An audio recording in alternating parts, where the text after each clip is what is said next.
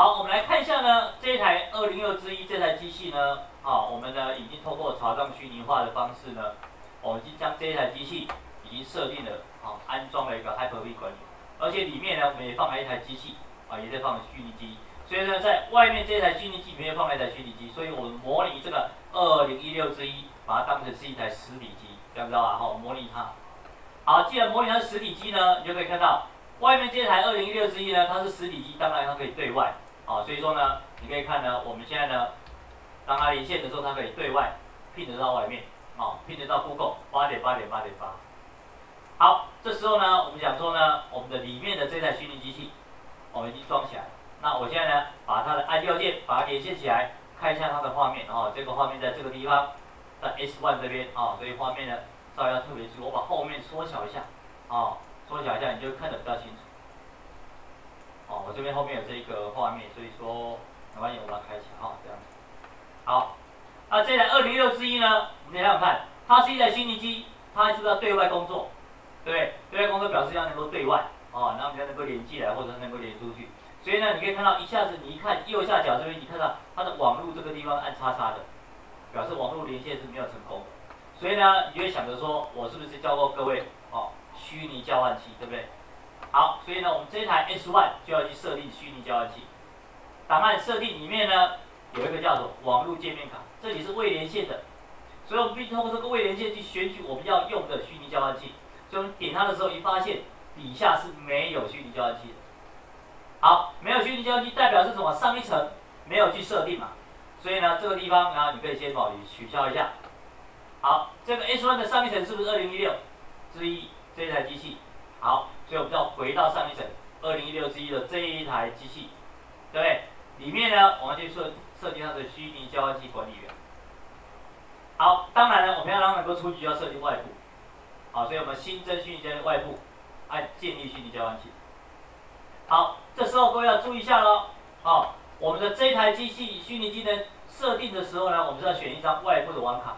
那这一张就是只有一张，因为你只有一张外部网卡，所以呢，你选了它之后，你这一台二零一六 G 的本机里面的网卡呢就没有 IP 了，变得到网卡变成通道了。而你如果要让你的本机机器呢能够再正常的工作，当然本机的机器要给它一个网卡，也要给它一个 IP。好，所以说呢，我们如果说你只有一张网卡的时候，请各位这个地方要把它打勾。允许管理作业系统共用此网络界面卡，这个意思就是要让你的本机的机器能够呢，哦，使用这张实体的网卡，然后呢，它虚拟出一张实体网卡，透过它出去。所以呢，我再让各位再看一次这边，这是你原来的网卡，哦，原来的网卡。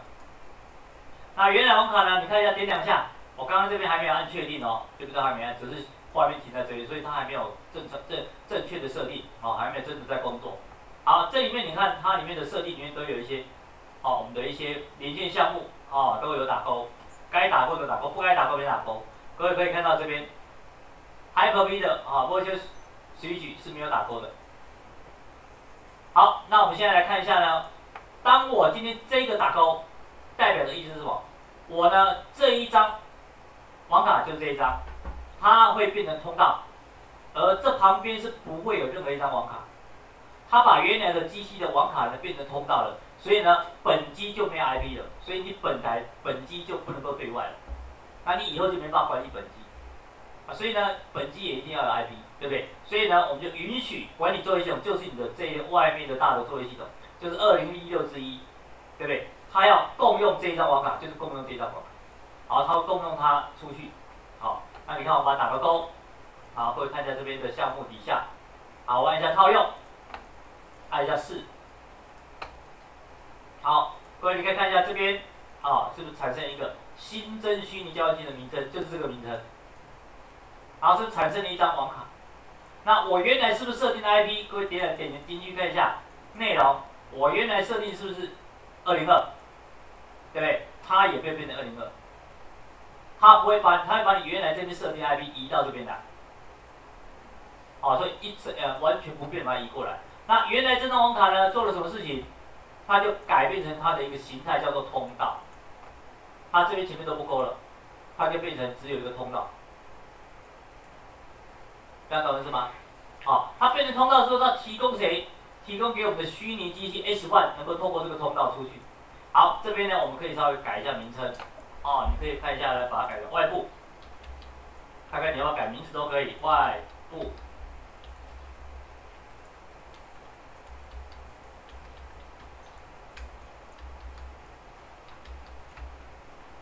好，那我们改一个外部之后呢，我们按一下确定，好用，哦，都可以。好，按下确定，好用。好，那各位可以看到这个名称有没有变化？哦，它应该要跟着变化，知道吧？你重新整理之后，它要改成外部，这样知道吧？刚刚是新增嘛，对不对？现在变成外部，按右键重新整理一下。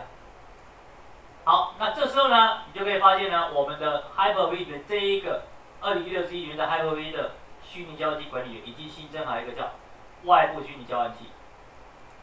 所以呢，我们这台虚拟机器，对不对？就是这台虚拟机器，是不是就可以去设定的？设定找谁？找我们刚刚那个外部虚拟交换器，找到名称了，按下确定，它就找到了。所以这一张网络呢，有看到没有连线，对不对？啊，重新整理一下。好，现在是等待 DHCP 的，对不对？那我们刚刚都给各位 IP 了，所以你就自己再设定一个 IP 给他。好，所以你会看到这边呢，是不是在这里是不是惊叹号了？网络已经接起来了。所以你再来看点这边，刚刚是没有连线的，现在是已经连线了。我们来改设定它的 IP。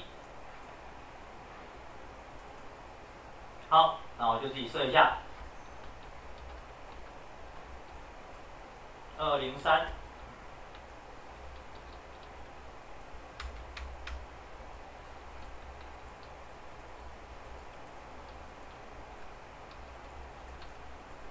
好，二零三呢设定完之后是跟我前面的 IP 没有冲突到，好，我设定完之后，这台机器啊就可以可以等一下，啊，它哎。就可以呢连到外面去了啊，那你就看一下了这台机器，按右键拼一下，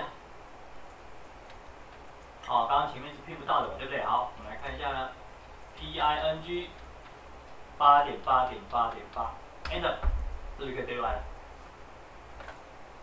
好，那我们现在呢里面的这台机器也能够对外了，表示呢我们的外面呢这个二零六，有没有？好，我们有设定好，所以说我们的里面这台 S one 是不是就可以出去了？所以呢，这个是朝这种虚拟化呢，你让你里面的虚拟机出去，但是呢，这个动作只是要让各位了解说，我们的这一台机器，我把它模拟成实体机，哦，等一下我们后面还会有针对这台机器以后要做什么事情。好，那目前呢，哈，到这个地方，这个地方 S one 只是要让你确定说这台机器能出去，它能够工作，哦，那我们的 Hyper-V，对不对？它这设计的功能是可以工作的，哦，是可以工作的。好。那我们的这个章节先介绍到这边。